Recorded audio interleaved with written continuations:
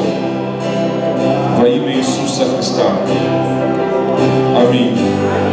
Аплодисменты Отцу, Сыну и Святому Духу Богу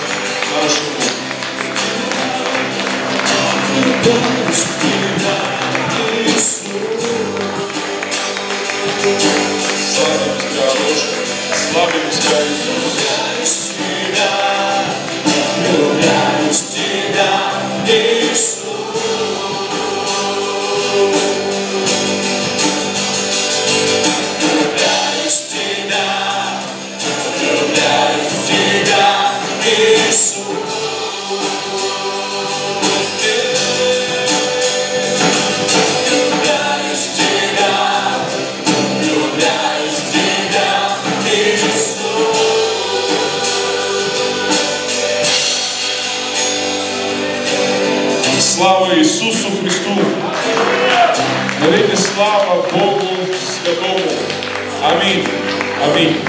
Спасибо певчим, музыкантам, спасибо. Слава Богу! Слава Иисусу Христу! Приветствую всех вас, братья, сестры, дорогие друзья, именем Господним, именем Иисуса Христа. Благословляю всех вас во имя Господне. А, И сегодня а, а, сегодня причастие. Так мне тоже объяснили, будет хлебопреломление, причастие.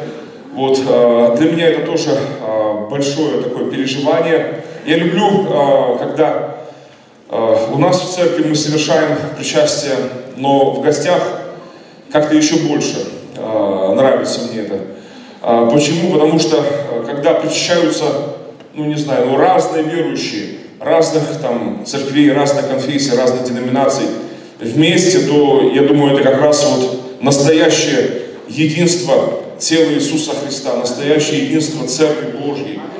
Вот, и моя мечта вообще о том, чтобы э, вот то, что называют как евхаристическое общение, то, что называют э, такое единство э, в причастии, да, в хлебопреломлении, чтобы действительно э, все э, мы, э, как вот и Господь и дал нам, собственно, э, принимали вместе это причастие, э, тело и кровь Господа Иисуса, потому что, э, хотя много разных ветвей в христианстве, много разных там направлений, много разных там конфессий, деноминаций, как мы говорим обычно, да, но э, церковь она одна. Церковь Божья, и, э, знаете ли, есть там древние ветви, есть там более новые ветви, там разные. Но Божья церковь, она едина. Она неделима, она на самом деле Божья, не человеческая, а, а Божья. Да, всех вас приветствую, благословляю именем Господним, именем Иисуса Христа. А, Приветствую всем, а, всем привет с Киева, а, с нашей церкви, реформаторской православной церкви, вот Христа Спасителя, вот архиепископ, который я являюсь, от наших батюшек, матушек, от всех, привет всем вам, да, пастор, всем, братья, сестры, привет огромный. Вот, и а, от своей семьи тоже привет передаю. А, Надеюсь, они уже подключились там, а, значит, а, подключались, потом отключались, но а, слава Богу за интернет, что есть возможность такая вот, а, хотя даже быть в разных городах и странах, и, там, и даже континентах порой, а, вот вместе быть а, таким образом а, в причастии, в служении, там, в общении, слава Богу, прекрасно.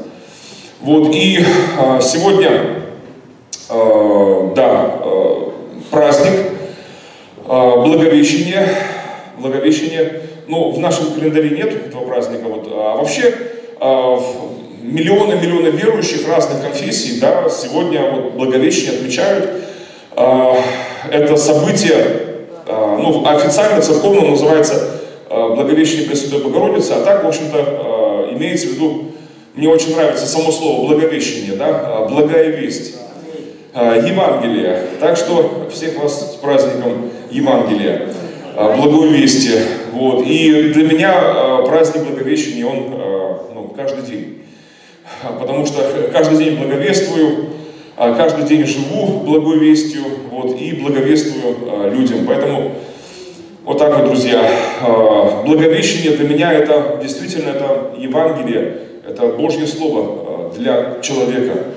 Вот, и хочу э, вместе, чтобы прочитали Слово Божье сейчас, э, 2 Коринфянам, э, 5 глава, э, 19 стих.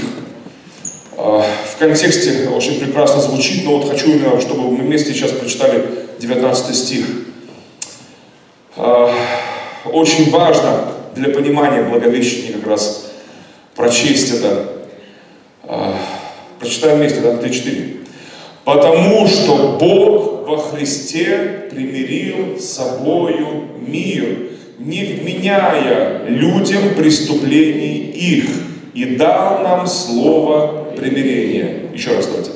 Потому что Бог во Христе примирил с собою мир, не вменяя людям преступлений их, и дал нам слово примирения.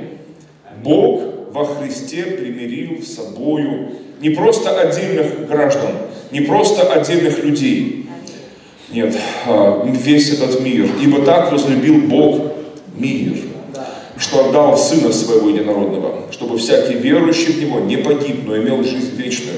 Благая весть в том, что а, спасение Бог а, совершил для всех нас. Благая весть в том, что, ну не знаю, благодатью мы спасены. И это не от нас, это Божий дар. Благая весть в том, что, да, на самом деле, есть вот эта милость Божья к роду человеческому. Вот, и не вменяя нам всем преступлений, дал нам слово примирения. А слово примирения какое? Вот оно, это то слово, что уже два тысячелетия звучит. То слово, что примиритесь с Богом. Да, мы призываем всех примириться с Богом. Вот мое благовещение, мое понимание вот, благой вести, оно такое. Это не просто для отдельных людей, это не просто для Матери Господа нашего Иисуса. Нет, нет, нет, это для всех людей. Для всех и вся. Для всех и каждого. А слово примирение, примирение, потому что Он первым совершил это, мы не смогли бы примириться с Ним. Многие люди там понимают, что вот где Бог, а где мы. Вот, но а, знаете ли, а, а, первым просит прощения порой не самый виноватый, а чаще всего как раз вот, только больше любящий, более любящий. Он первым просит прощения, больше понимающий, да, более взрослый, более понимающий, более любящий. Вот он первым просит прощения. Так, ну, во, во всем так, человеческом нашем бытии. И Бог, Он первым попросил прощения. Вот, и Он примирился с нами а, кровью Своего Сына, а, Иисуса Христа. И это доказательство Его любви. Он однажды и навсегда приобрел нам искупление вечное. Он однажды и навсегда доказал к нам свою любовь. Знаете, если до Иисуса Христа, а вот, ну, до нашей эры, как мы говорим, до нашей эры, да, если э, человеческий род, люди, народы, разные народы, особенно нееврейские э, народы, то есть вне Израиля, кто жил, вот в Ветхом Завете мы читаем, да, вот, э, то другие народы, они какое-то имели моральное право где-то э, сомневаться в Божьей любви. Э, и, в общем-то, да, э, человек мог как-то сомневаться, имел моральное право сомневаться в Божьей любви. Вот, но уже с момента, э, когда пришел Христос, когда совершилось, помните, да, когда он на кресте воскликнул, совершилось, совершилось, завеса в храме разорвалась, а, и он сказал, совершилось, воскликнул это, вот, и спустил дух, он умер за нас, а, то с того момента, вот когда Агнец Божий был загнан, а, уже человеческий род, ни один народ уже, ну, уже не имеет морального права знаете, сомневаться в Божьей любви в том, что Бог любит нас. Он доказал, Бог доказал нам свою любовь. Спасибо, Господи, за все. Благодарю Тебя за эту благую весть, что Ты, Бог, во Христе примирил с собою весь мир, не вменяя людям преступлений их. И благодарю, что Ты дал нам слово примирения, которое звучит уже два тысячелетия. Слово примирения, звучащее два тысячелетия на этой земле и страдавшейся планете нашей.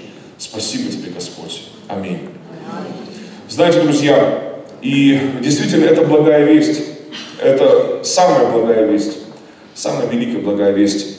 И Бог э, во Христе примирил, и Он совершил примирение. Не только мы с Ним примирились, Он с нами примирился. Вот. Но и друг с другом мы примирились. И примиряемся благодаря этому. Э, потому что э, иначе, знаете, вот как Иисус говорил в Нагорной проповеди, ну, Нагорная проповедь, она как бы такая пограничная еще. Она как бы, с одной стороны, ветхозаветная еще, а с другой стороны, уже с элементами Нового Завета уже. Она как бы такая, а, еще до, до искупления произнесенная, еще а, в начале проповеди, да, земной проповеди Машеха, Христа, помазанника. Но еще до момента наступления Нового Завета. А когда наступил Новый Завет? Помните, да? Когда вот Новый Завет наступил, Божий Новый Завет для нас? Да, было совершилось, да. А, да, фактически, да. Вот, и накануне, накануне, то есть как бы, ну, а, когда Иисус а, взял чашу и дал ученикам и сказал, что я чаша есть Новый Завет в моей крови. Вот, а, де юре, а де факто, да, на самом деле, фактически, когда уже кровь из него, она была пролита. Потому что когда Иисус взял чашу и дал ученикам, а, то на самом деле он, а, ну, кровь еще в нем была, его. А она была еще не пролита. Хотя Библия очень так чудно, конечно, для нас. Для нас, живущих во временном измерении, временном мире, конечно, это все чудно и странно, и непонятно. До конца никогда мы не поймем, пока живем в этом измерении временном, временном. А, но агнец от века закланный. Как, я не знаю. И лишь просто доверяю Богу, Божьему Слову, что как каким-то образом от века закланный. Он в вечности как-то э, свершилось все это. Вот. Поэтому Иисус, э, то есть до, до еще, на, до того, как время само было создано, потому что время это тоже одно из прекрасных творений Бога. Мы живем в этом времени. Вот. Правда, многие неверующие считают это проклятием, э, жить в этом времени, да, значит, вообще во время, жить во временном измерении. И часто выражение такое есть, там, убить время, допустим, да, убивать время. Вот, э, человек без Бога, он э, способен лишь на то, чтобы убивать. Вот, знаете ли, а враг рода человеческого и враг Божий, и противник сатана, он только лишь, у него только, ну, три его любимых слова на каждого из нас, он, значит, имеет только три слова этих, украсть, убить и погубить. Вот. И по отношению ко времени, как э, творению Бога, э, у дьявола то же самое, у него только украсть, убить и погубить, как бы, да, вот. Вот, э, потому что все творение э, дьявол ненавидит э, Божье, хотя сам тоже тварь, э, ну, в, в таком смысле творение. Вот, значит, но э, ненависть это, она, да, вот распространяется на все творение э, Всевышнего Бога. Но когда мы с Богом, то мы понимаем, что время это не проклятие, это благословение, э, что время это хорошо. А, что время надо не убивать, а наоборот а, дорожить временем. Что, потому что, э, ну, когда без Бога человек, он, он, он ну, даже желая что-то хорошее делать, он все равно это убивает. А, знаете ли, а когда мы с Богом, то мы а, все это хорошее мы а, бережем, дорожим, дорожим жизнью тогда. Вот, и а, пусть Бог а, поможет, да, даже там вот сестричка на турничок полезла, оно тебе надо. А, это полезно, но не сильно полезно, а, знаете ли, физические такие упражнения. А, не надо верить там телевизору, рекламе, вот, значит, что спорт, мол, там он на все полезен. Это, это, это стереотип. И если бы спорт был бы таким полезным, на самом деле, то на каждом турнике по два еврея висело бы, значит, знаете, вот, постоянно. Спорт полезен, он, но все хорошо в меру. Знаете, в меру, в меру. Вот что за надо, то на здраво. Вот, да, вот чего, вот немножечко, да, немножечко в дозировке, э, все, это хорошо. А вот больше чуть дозировку увеличил, все, уже, уже плохо, не на пользу уже. Вот поэтому э, надо ко всему относиться так вот, ну, э, понимаете, не верите рекламе. Вот, значит, а, и если зайдете, допустим, даже в больнице, вот а, я посещал и посещаю порой больницы, молюсь там, допустим, за людей, вот а, где травматология, там, в основном спортсмены лежат. Вот, и потом такие у них там такие, ой, не приведи Господь. Вот молюсь тоже за них, за ребят, тоже жертва рекламы, жертва вот этого как бы пропаганды такой, как бы здоровый образ жизни. Ерунда все это на постном масле, на самом деле. Вот, значит, но ладно, друзья, нет, я не против спорта, нет, нет, я за, но, но все в меру, чтобы было все сбалансировано. Вот, Бог нам дал не только физическое тело. Хорошо, друзья. И, значит, э, и что интересно, что... А, кстати, вот когда э, зимой, вот, ну, ну ладно, это уже отдельное свидетельство, потом как-нибудь расскажу в следующий раз. А то у нас времени не так много, вот, а хочется еще чем поделиться еще. Э, нечто очень важное сказать сегодня хочется. Так вот, хорошо, что вот перед причастием мое слово. Потому что, знаете, для меня это святыня. Как для верующего человека, это святыня. И это не просто религия, это не просто культура или э, религиозная, или что-то еще, нет. Знаете, апостол Павел писал когда-то, что люди не рассуждали. В его поколении была эта проблема. Но она и сейчас эта проблема. Она не стала меньше, эта проблема. Просто как бы она э, не так, может быть, э, выпукла и не так очевидна для многих.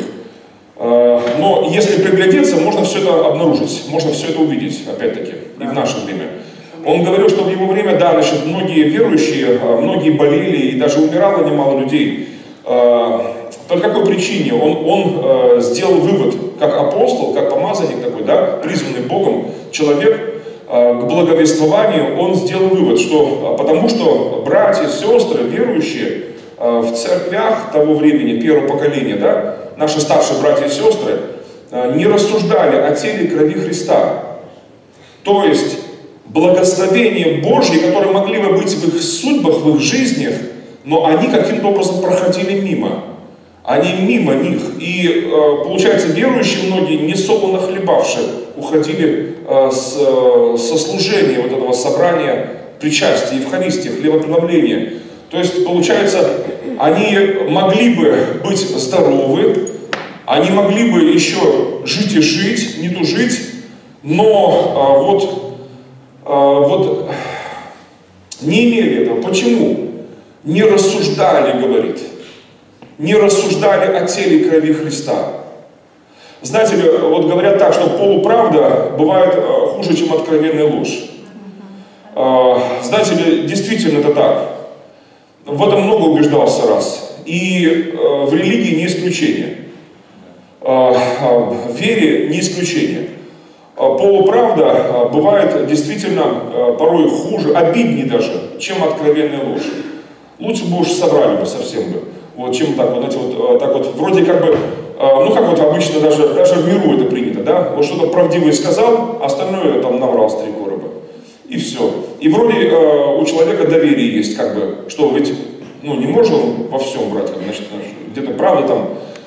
И вот э, полуправда, знаете ли, э, вот э, такая, которая хуже, чем ложь, что касается причастия, я имею в виду сейчас, вот, что касается Евхаристии, хлебопреломления, э, обидная полуправда, которая тогда обворовывала наших братьев сестер, тогда, 2000 лет назад, и которая сейчас обворовывает миллионы трудящихся христиан, как говорится, да. Миллионы верующих, разных конфессий, разных деноминаций. Я это у себя в церкви говорил уже не раз уже, и люди многие призадумались, хорошо, что призадумались, хорошо, что сделали выводы некоторые, да. И э, понимаете ли, друзья, некоторые пугаются этих слов Павловых э, значит, э, и воспринимают их как угрозу э, своему здоровью и жизни, да, безопасности. На самом деле э, обратные Понимаете, это ну, по принципу стакан полный наполовину или он пустой. Вот а, надо посмотреть немного евангельски на вот эти его слова, предостережения. Он э, рассуждает, э, он и говорит сам, чтобы мы рассуждали о теле крови Христа. Э, полуправда в чем? Обычно вот э, в церквях во многих, но она полуправда, что, э, ну, с чего даже начать, даже не знаю. Вот э, начну с православия. Вот, вот мне, просто мне это проще. Э, потом я расскажу еще там, э, о других там полуправдах всяких. Вот, начну с православия. Э, я уже больше 30 лет несу служение православного священнослужителя. Э, с 87-88 годов начался мой трудовой стаж. Тогда я служил в русской православной церкви Московского патриархата. Вот как бы это мое свидетельство такое о служении моем церковном. И э, с 96 -го года я стал реформатором, евангелистом таким православным. Э, значит, э, как право, мы там в Киеве газету издавали, и э, там э, в шапке э, значит, этой газеты было написано «Газета православных христиан веры евангельской». Многим нравилось даже не сами статьи, не название, а вот, вот эта вот надпись. И я как-то, помню, к Паночке был в гостях у него, там, у Михаила Степановича, я ему тоже подарил там разные газеты эти, он почитал, и говорит, мне больше всего вот это запомнилось. Я, говорит, а, ну, по-русски, одним словом, примерно так он сказал, что я, а, всякое видал, я уже не первый год там в служении, много лет уже в служении, всякое видал, всякое. И уже думал, что меня удивить невозможно. Но, вот, батюшка, вы меня удивили. Такого я еще набачив, начув. Я говорю, Михаил Степанович, то ли еще будет еще. Это еще, это еще не все. Да, удивлять наша специальность.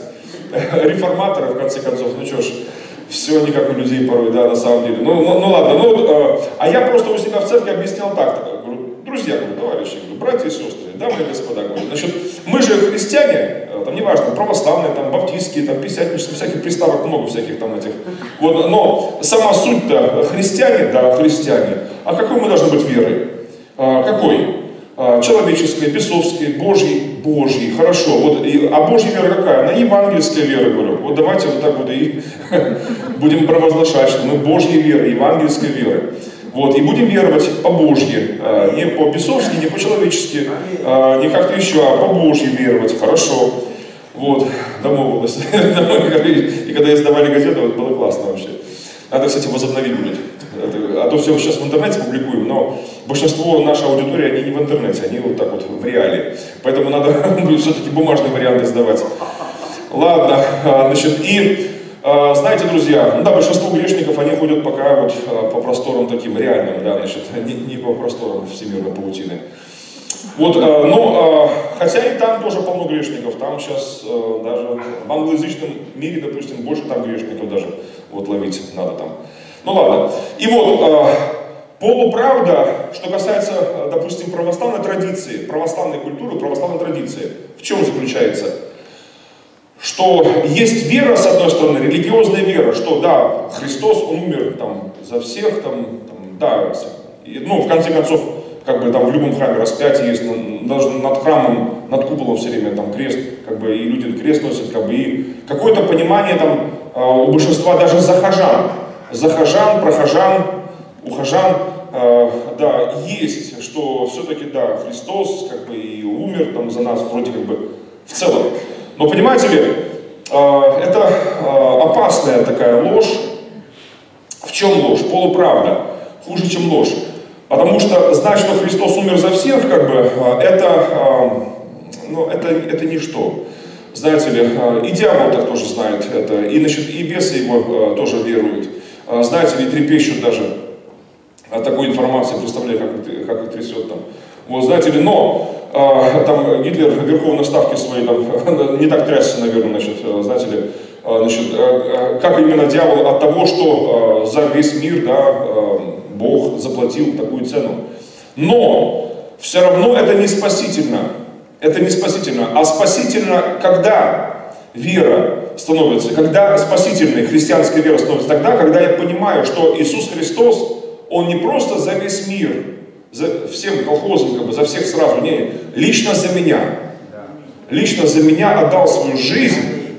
И не, я не прячусь уже за ширму коллективной такой безответственности, когда вот мы вроде как бы, вроде мы всем скопом. Нет, нет. А, именно за меня отдал свою жизнь, и я лично осознаю персональную ответственность перед Богом, и, и важность перед Богом. Он любит лично меня, не просто всех нас, вот миллиарды, да, да как Пушкин написал, двуногих тварей миллионы, а, значит, да, не-не, а, а действительно вот а, тебя и меня, каждого из нас любит. Вот, и что Иисус Христос, там, Он Господь, Спаситель, это все хорошо, что, это все-все-все, но это бла-бла, там, черч. Вот как бы, э, это на самом деле оно не спасает. А что Иисус Христос, Господь и Спаситель лично мой, вот это уже спасает. Это переворачивает все. Переворачивает мое мышление, переворачивает мою душу, э, совесть, э, мою жизнь. Это изменяет. Можно всю жизнь э, ходить в храм э, и знать, что да, Иисус Христос Господь, Он Спаситель, как бы, как бы, но не разуметь, что Он лично твой Спаситель, твой лично Господь. И это, вот полуправда, говорю, она хуже, чем порой откровенная ложь. Вроде как бы человек, поэтому даже порой э, на улице человек, уличный совершенно, не знающий ничегошеньки, чистый белый лист бумаги, будем так говорить, его разум, э, о религии. Ему просто скажи, что Иисус Христос твой Господь, Спаситель. Поверишь? Так почему бы нет? Хорошо, верю, все. Вот ему проще спастись порой такому человеку, а, чем человеку, который, а, знаете ли, как вот а, переболевает всем этим, но в такой форме не опасной для человека. То есть он э, живет по-прежнему своей старой жизнью, ну, как бы прививочный больной, допустим, да, он переболел вроде этой, э, этой заразой, но в легкой форме, и теперь его уже ничто не берет уже, знаете, вот э, там рядом чихают, там все, там, а, а ему бы что. Вот, значит, э, то есть он вроде как привитой уже такой. И вот, значит, и нечто, религия делает нечто подобное с душой человека, очень страшную работу, как бы прививает душу против такого, ну, пробуждения духовного, возрождения. Это опасная вещь очень. И вот, и знаете, я одну женщину в 91 году с этой бабушкой я разговаривал, у меня много было бабушек там, э, я вообще в основном с бабушками общался тогда. Э, в 87-88 годах в Орле и в Орловской области я, я начинал свое служение. Читал, пел на клиросе, ну как, это как группа прославления. Вот, был лидером группы прославления, проще говоря, чтобы было понятно вам. Э, форум руководил там. Ну, в джазе только бабушки у нас были. Можно снять такой фильм «Джазе только бабушки». Спародировать то. Вот, значит, и э, самый моей молодой подопечной было 65. да. А, а самый старший был почти 100 лет, э, почти 100 лет, за 90 году уже. Но она почти ничего не слышала.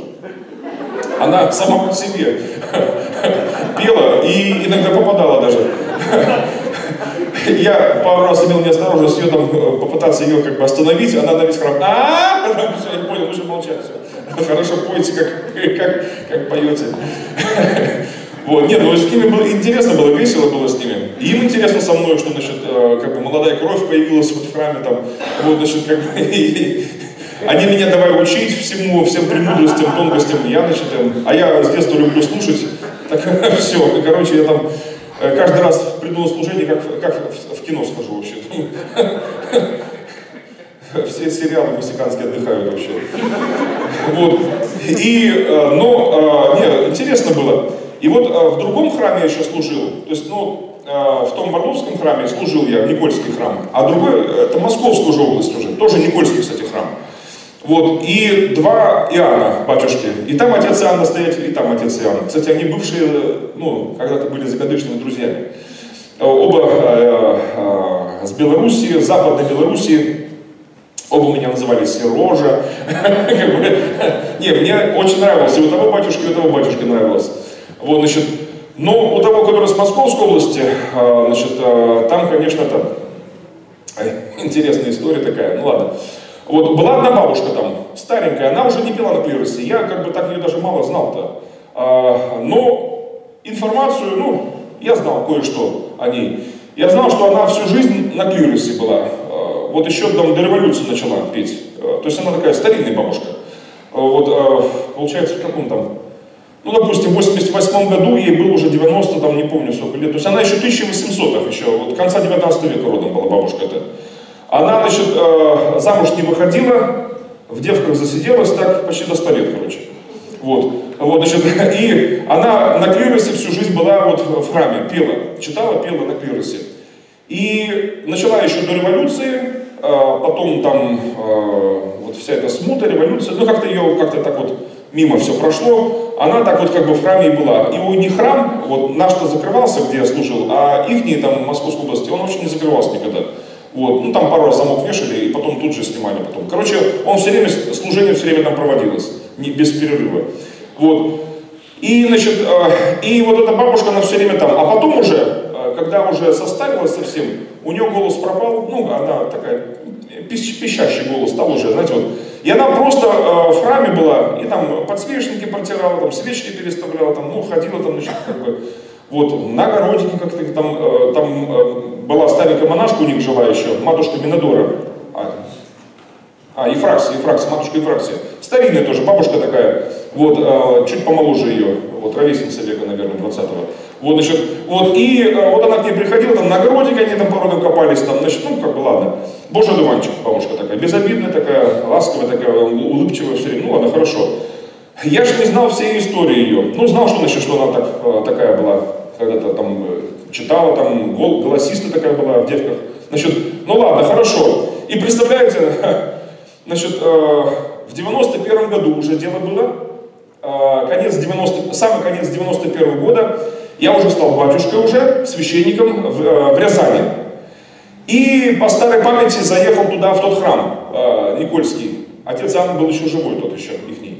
Заехал к ней в храм, значит, туда-сюда, э, пояшкаться, пообщаться, значит, там, значит, там, и, значит, показаться, как бы, значит, да, уже как батюшка, в роли в такой.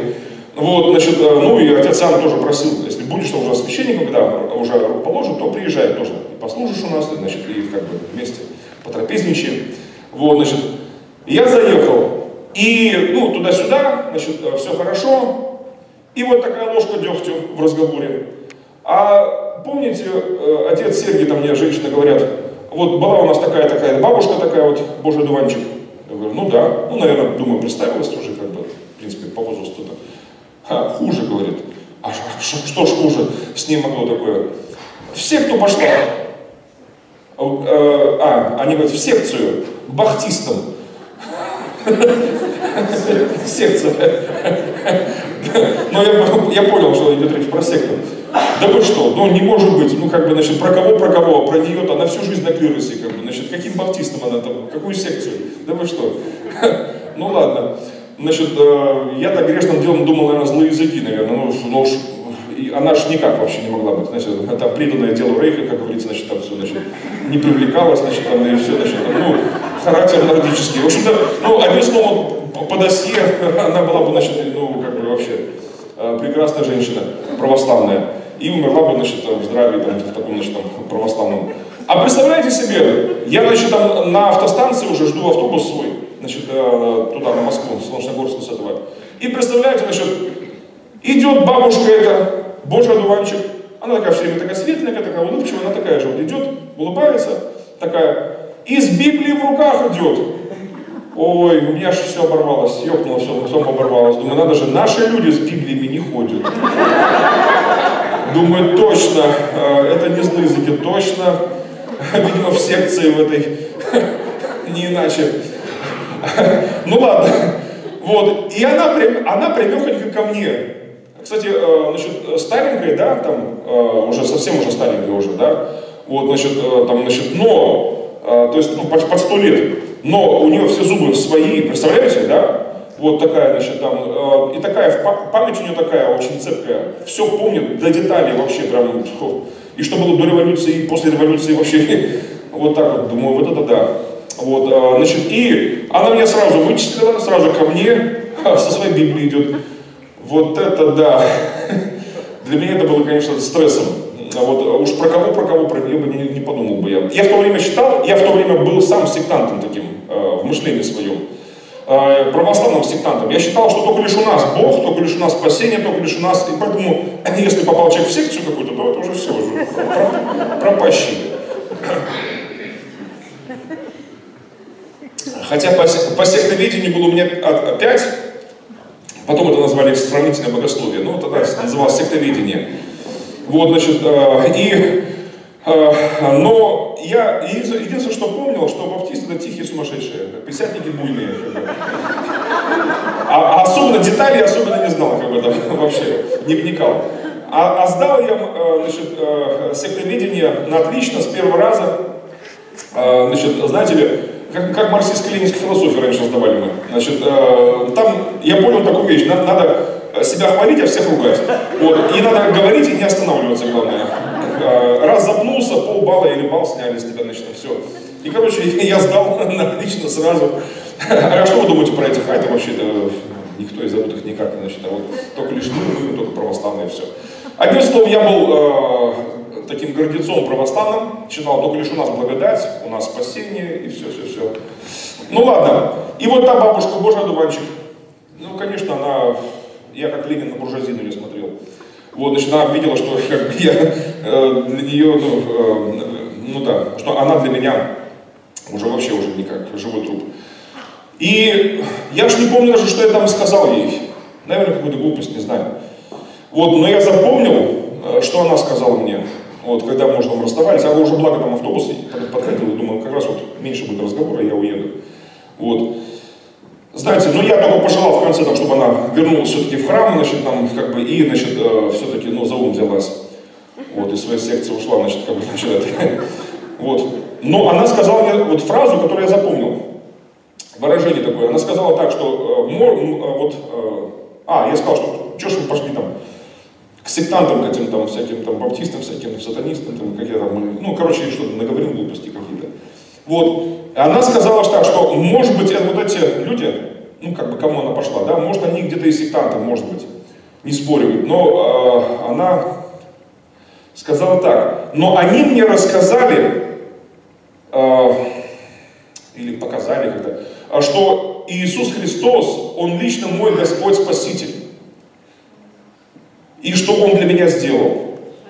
Я вот всю жизнь, э, у нее стажа там э, немерено, ну всю жизнь, еще девчонка совсем еще сопливая она была, там еще, э, значит, уже была до клироси уже, самого, самого, самого маленького возраста. Ее мама когда-то пела, брала с собой ее э, туда, от клирос. Э, и она потом уже чуть подросла, там уже летом 7-8, она, она уже пела уже, там уже что-то уже. То есть она всю жизнь, представьте, всю жизнь. И я говорит, кормила там, значит, этих э, батюшек, даже митрополиты кормила одно время. Вот, значит, прислуживала там, ну, с Новосогорской там этот был архиепископ, кто он там, митрополит, не помнишь. Ну ладно, не, то, не то дело. А, значит, и говорит, почему никто, вот я знала вот э, сотни священнослужителей, но почему никто из них мне не рассказал, кто такой Иисус Христос и что Он для меня сделал. Она все время, она знала, что Иисус Христос, да, да, за всех, но оказывается за одного. Оказывается за нее лично. Вот эта, вот эта правда ее освободила. Понимаете, но потом ее не стало, да, вскоре она умерла, потом приезжал уже, да, сказали, что все уже, да. Вы знаете ли, но я теперь рассуждаю, тогда я был э, молодой глупый, просто не понимал этого. Сейчас я понимаю, что э, неважно, какую конфессию она пошла, там церковь пошла, э, совсем, конечно, чудно, конечно, под старость лет, там уже как бы уже э, финал уже жизни, и она вот изменила конфессию. Это не часто так люди так вот делают. Э, всю жизнь посвятившую себя служению в какой-то церкви, знаете ли, я имею в виду. Вот, но самое интересное, э, что самое важное, я сегодня я за нее рад. Я рад за ее душу, что она узнала, э, что Иисус Христос, лично ее Господь, лично ее Спаситель. Поэтому, если вы смотрите сейчас или слушаете, да, значит, то внимательно смотрите, внимательно слушайте. Иисус Христос, Он не просто э, Господь, Бог, Спаситель для всех. Это, это, это полуправда. И можно всю жизнь с этой правдой жить и э, так и э, уйти. Не солоно хлебавший вообще с этой земли. Вот знаете ли, что жил, что не жил. Вот, но а, а признать, что Иисус Христос лично твой Господь, Бог, Спаситель, Исцелитель твой личный, это все меняет, это преображает жизнь. И я, я потом знал много примеров, и знаю много примеров на сегодняшний день, сотни просто примеров, которые говорят, что действительно это, вот, вот это вся правда. А еще, друзья, смотрите, а, независимо от конфессии нашей, независимо там православные, протестанты, католики, кто угодно, как вот первых верующих а, враг дурил, вот так и э, современных может дурить. Тоже полуправный. Какой? Смотрите, принимая причастие, да, говоря о Евхаристии, хлебопреломлении, верим, большинство христиан все-таки верят, именно вот, ну, настоящие, которые не понарошку, а по правде, что христиане, верят, что Иисус Христос, наш Господь Спаситель, все, да, за грехи мои Он пролил свою кровь, это правда, но это все равно еще не вся правда. Только вся правда делает нас свободными. Только вся истина делает нас свободными. А полуправда, полуистина, ой, а, порой закабаляет еще больше. И вы знаете что? А, вся правда в том, что Иисус не только взял на себя наши грехи, но и болезни, и немощи, и ранами его мы исцелились. Вот почему Павел писал, что в его время многие тоже были нерассудительны, не рассуждали об этом. Они верили, видимо, да, видимо, и коринфяне там, и другие там верующие тогдашние верили, что Христос, Он за нас умер, за наши грехи. Это хорошо, но это не вся правда, это полуправда. А вся правда в том, что Он взял на себя наши немощи, болезни, и ранами мы исцелились. Поэтому, не рассуждая об этом, многие люди, верующие, они раньше времени умирали, не рассуждая о Спасителе Господе, как своем личном целителе. Не просто кого-то там пришел исцелить, не просто вот тех, там, кого мы читаем в Новом Завете, он там исцелял. Нет, он и сегодня тот же самый. Он и сегодня тот же. Иисус Христос вчера и сегодня и во веки написано тот же. Вот, и а, многие верующие и того времени, первого поколения христиан, и сейчасшние а, верующие, а, многие болеют, страдают от немощей, различных немощей. Болезней стало не меньше, друзья, а, со временем, а, вот с того времени, с двухтысячелетней давности. Болезней стало больше, немощей стало больше. Я думаю, а, вот последние столетия это очень хорошая иллюстрация. Вот на протяжении последнего столетия. Я вот тех старых бабушек помнил хорошо, которые вот тогда, еще с 19 века были родом. Вот, значит, они еще революцию застали значит, уже взрослыми, молодыми женщинами, девушками. И они рассказывали, что да, как, какой был народ крепкий вообще. Лопатой не убьешь вообще, значит. А сейчас хилый, говорит, вообще. Значит, э, и э, сопливый, и хилый, и вообще, значит, ну, ну, страшно посмотреть, говорит, что. То есть на протяжении вот э, их жизни, столетней почти жизни, несколько поколений деградировало человеческого рода. Вот. И это замечают не только у нас. В других странах тоже люди подмечают это. Вот. И это действие проклятия определенное. Но я знаю, что исцеление для нас и для, в любом поколении это Иисус Христос. В прежнее время оно умолило и деградировало эту землю особенным образом. И э, немощами и болезнями да, э, покрылся народ. Но, как хоростой какой-то, знаете, или как вот э, проклятием. Но сейчас пришло время восстановления. И это в Иисусе Христе. Не только э, прощение грехов принимаем, исцеление. У, у многих верующих сегодня есть свидетельства хорошие, разного рода исцеления. И я думаю, что это лишь начало. Я думаю, что это лишь начало. Это, это не вот все то, что Бог хочет сделать и хотел сделать. Нет, Он хочет всех исцелить. Помните Великий Исход, когда Бог вывел из Египта нас? Он всех исцелил. Весь народ исцелил. Представляете? Они ходили по пустыням. 40 лет топтали пустыню, слушайте, и ноги их не пухли обувь их не стиралась. Ты купишь а, такие же шлепанцы, э, ботинки, там, как и твой товарищ там, по работе, но ты будешь носить, не сносишь, а тот и сезон не относит. А, почему? Бог благословит все твое, даже твои шлепки, даже твои тапки. А, Бог благословит не только тебя, а, а, от макушки до подошвы. Нет, Он и то, что ты носишь, благословит, и одежку твою благословит, и, и все благословит твое ради любви своей. Вот рассуждая о теле и крови Христа сегодня, я просто умоляю, заклинаю именем Господа Иисуса Христа, а, порассуждайте о том, что а, не только грехи наши прощены, Бог во Христе примирил с собою мир, не вменяя людям преступления их, дал нам слово примирения. Друзья, и вот это служение примирения. Для меня самое великое, что а, в этом есть служение примирения, это тело и кровь моего Господа Иисуса Христа тело и кровь моего Спасителя. Я сам вникаю в это, а, погружаюсь в это, что-то понимаю, что-то не понимаю, но я просто верую, говорю, Господь, я знаю, я что-то знаю, что-то не знаю, но я верю, что да, Ты взял на себя все, ну, грехи мои, болезни, немощи, и ранами Твоими я исцелен. А, проклятие всякое разрушается. А, я верю в, то, в силу крови Христа, а, которая вот будет таким движущим началом вот этого духовного пробуждения. Многие говорили уже, не раз, там и сто лет назад говорили, что последнее пробуждение, они будут такие евхаристические пробуждения. То есть людей, рассуждающих о теле крови Христа, рассуждающих о силе крови Христа. Знаете ли, если в теле кровь проистекает да, из тела, то душа уходит, все, умирает тело. Вот, и э, э, обескровленная э, церковь, обескровленный верующий, это человек, который еле-еле душа в теле, что называется. Вот э, когда э, нет понимания э, силы крови Христа, нет понимания э, важности крови Христа, и пусть Господь благословит нас, верующих, сегодня рассуждать, рассуждать и рассуждать о теле Христа, что я спасен кровью моего Спасителя Иисуса Христа. Это не от меня, это не от, не от, не от чего-то другого, это только от крови Христа. Великая цена была заплачена. Спасен я через кровь Христа. Исцелен я через кровь Христа. Знаете, как тяжело? Э, это кажется, со стороны, может быть, кому-то легко покажется, хотя тоже сомневаюсь. Но это, на самом деле, чем больше в этом погружаешься, тем понимаешь, что вроде и просто все, гениально, просто, а с другой стороны, так трудно. Э, чувствуешь, э, осознаешь чувство вины. С, с этим живут миллионы-миллионы людей. Больше или меньше, но все с этим живут. И представьте, Э, понимаешь, что в жизни сделал ошибки, да? Или вот недавно совсем сделал какую-то ошибку.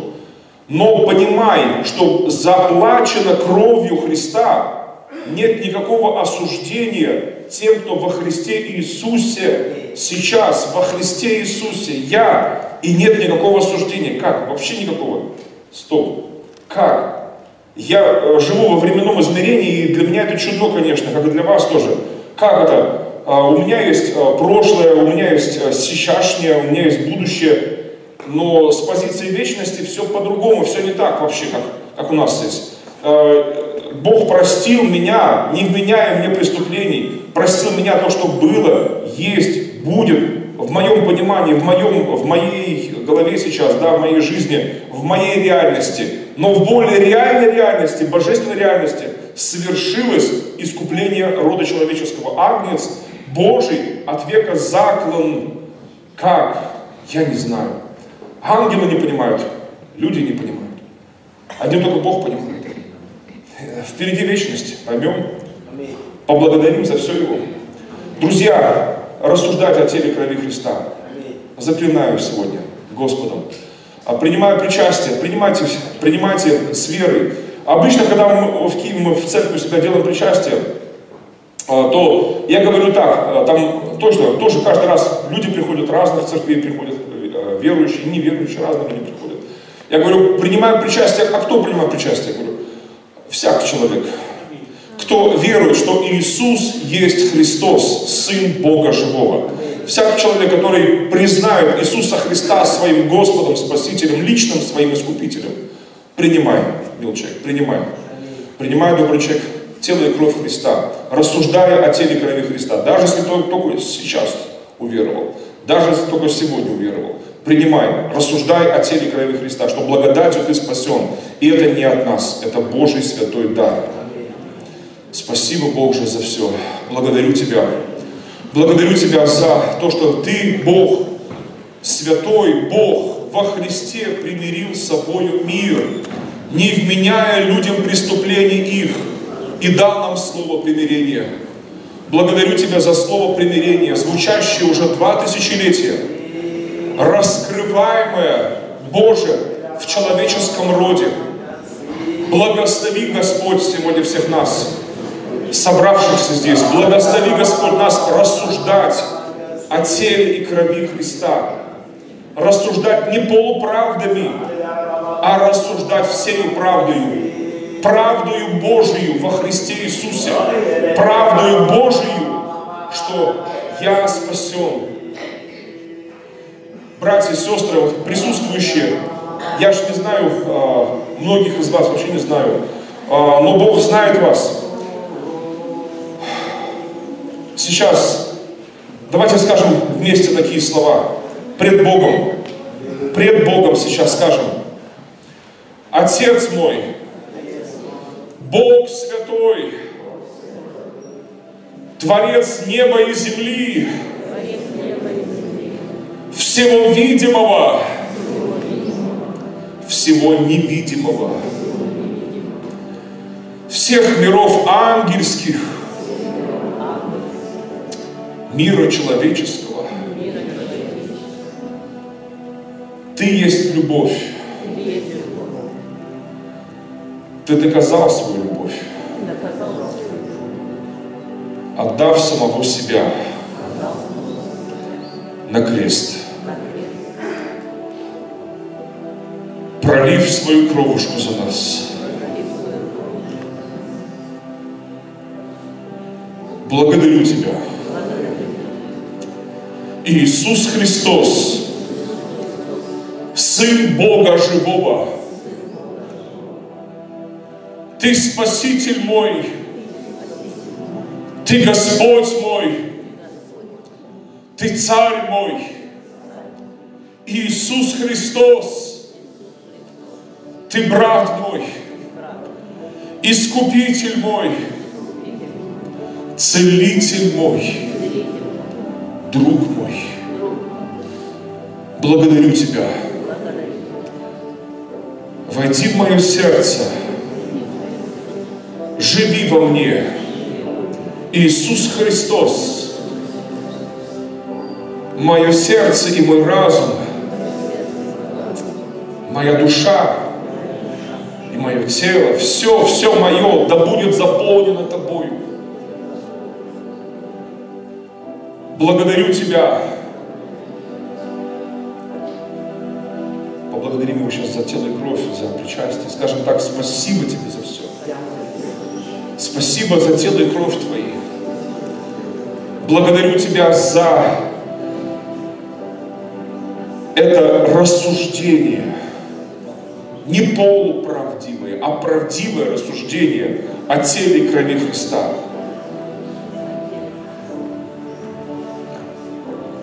телом ломимым Христа, кровью Христа Иисуса я спасен, я исцелен, я благословлен, освящен кровью Иисуса Христа.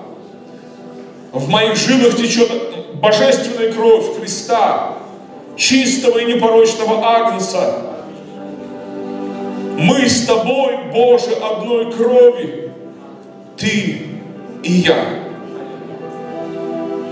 Благодарю Тебя за Новый Завет. Новый Завет. Когда кровь Твоя была еще в Тебе, Господь Иисус, Ты уже дал ученикам хлебушек. Ты сказал, это мое тело. И Ты дал на том ужине на той вечере ты дал чашу и сказал, это моя кровь, нового завета кровь. Пейте из нее все. Она проливается за вас. И через несколько часов это стало исполняться. Тебя, Господь, унижали, допрашивали, избивали, ломали, но ты не ломался. Тебя избивали, унижали, но ты не унижался и не сдавался. И на кресте кровью обливался за нас. Не проклиная, но благословляя. Ты победитель, действительно. Ты не сломался, не сдался, ты благословлял и благословляешь сейчас народ свой и ты хочешь благословлять детей своих, благослови, Господь, нас сегодня в этом причастии. Помолимся, да, пастор? Помолимся сразу. Братья, да. Помолимся вместе сейчас. Это великое таинство, великое таинство божественной любви. Бог доказал к нам свою любовь. И это есть доказательство Его любви. Хочешь знать, что Бог любит тебя? Посмотри на это. Посмотри. Рассуждай сегодня об этом. Рассуждай. Причастие совершается не просто ртом нашим. То, что входит в нас, оно не может нас не осквернить, и тем более осветить.